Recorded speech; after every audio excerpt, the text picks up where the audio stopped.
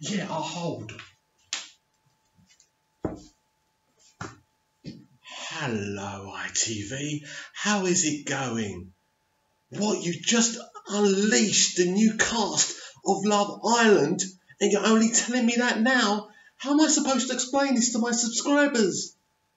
Is this thing on? Welcome back to Big Mouth and fancy seeing you here and you are very welcome my friends and especially my enemies.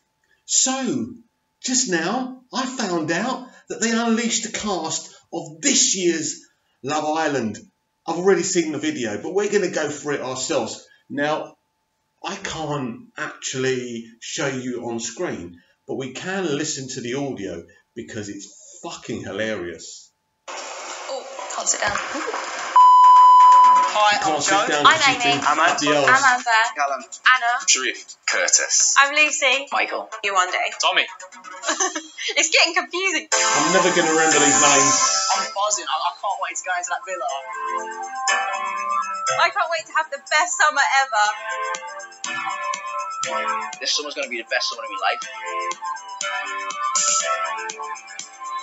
So I've been a firefighter for almost two years. Looks and personality wise, I'd say I'm a 10. I would say a humble 9, He's a but 10. No, being a hero kind of bumps five. me up to that 10. Oh, mate. I don't even have to say I'm living my best life because you just know that I am. I do like to get my own way most of the time. So my type of girl, I'm not really that fussy looks wise. As long as I have that initial attraction. If I could be what I'm like with the boys around them, and they actually like me for it, I'll stick a ring on it. I've heard it all before, you know. Welcome aboard this Love Island flight to the villa. Life as an air hostess is really fast paced. You're here, there, and everywhere, which makes finding a boyfriend really impossible. Well, no, don't use that. My friends would say I'm a bit of a smooth operator because of the way I pick up girls in the club. I always get the nicest looking girl out of all my friends. In the villa this year, you're probably going to hear some new and weird words. Bev, Bevnished up, foofed off, woof. Oh, yeah, okay.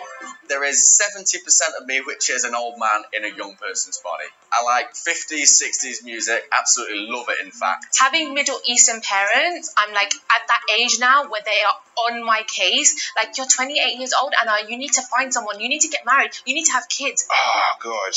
That's hard. I was always like kind of like the friend zone type kid, but um, I grew up and a few years ago I had a glow up. I started to look alright. Sandwich man's a late blue one. I shows his yeah. ass. I used to laugh at that. when I tell guys I'm a scientist, I don't think they really say much. I think it's just like the look of like shock and horror a little bit.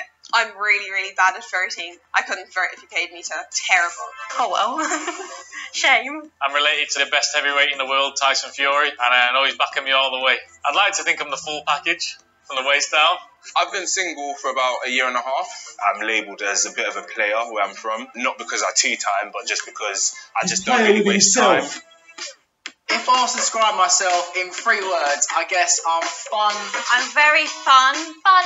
fun, Pretty flamboyant, good fun. That's what we'll say. Crazy. Slightly crazy, cheeky, definitely could be cheeky at times. Spontaneous. And a bit weird. Funny, I'm funny, honest. Funny. Bubbly. bubbly. Energetic. Sassy and a bit of a diva.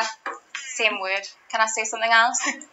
Please I can't do. wait to get in the villa. I'm going on Love Island, hopefully to find love, but also find a gorgeous girl with a nice bum to take home to mum. If people get on the wrong side of me, you'll know about it. I can't wait to get in the villa and get in amongst it with all those fit girls.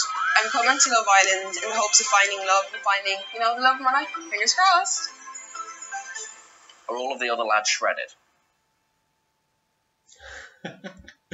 Oh, that, that is that is so hilarious.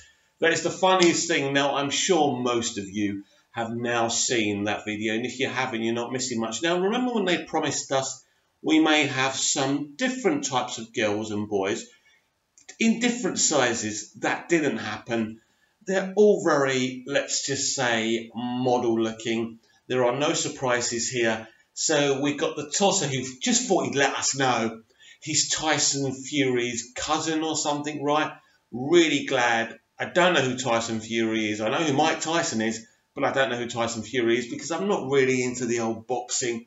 Um, then there's the other guy who's the player with himself, right? And then there's the one who says he's a 10. And I've seen the video. He's no 10. Um, a lot of people are disappointed with this selection of people. Um, listen, this happens every year. It, look, if they're characters and and they're going to entertain us, it's great. Um, I do remember last year. Um, I don't think I was overly impressed with any of them. I certainly wasn't impressed with the fact that Dani Dyer was allowed to be on this show because of who her dad is. But never mind, that's gone. She conned you in to her and her previous man winning the show. But that's in the past. I forgive you, Love Island fans. So I'm supposed to remember all those people's names. I don't remember their names, right? Can you remember their names? No. Anyway, so in about, what is it, about a week's time? No. Over a week's, no, this weekend, isn't it? No.